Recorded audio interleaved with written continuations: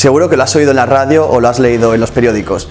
PP, Ciudadanos y Vox han acordado sacar adelante el PIN parental, una línea roja del partido de Santiago Bascal para apoyar los presupuestos del Partido Popular en Murcia. Se ha hablado mucho de ello, pero ¿en qué consiste realmente el PIN parental? Veamos, Vox, como partido liberal y conservador, lo que propone es que sean los padres los que decidan cómo se educa a sus hijos en las escuelas, sin imposiciones gubernamentales. Por tanto, lo que ha conseguido Vox es que sea necesario el consentimiento de los tutores legales del muchacho para que estos acudan a un taller o excursión organizado por el centro escolar de turno, algo que ha indignado enormemente a los sectores más progresistas. ¿Por qué? Porque entienden que tras la bandera de la libertad alzada por Vox existe la voluntad de restringir el acceso a los alumnos a educación sexual, educación para la diversidad o para la igualdad dentro de las escuelas y porque además se pone en juego el acceso de alumnos a talleres y asignaturas que en realidad son curriculares. Desde el gobierno ya adelantaron que llevarían esta medida ante los tribunales porque consideran que es una forma de censura de los padres sobre sus hijos. Así que el debate sobre qué es la libertad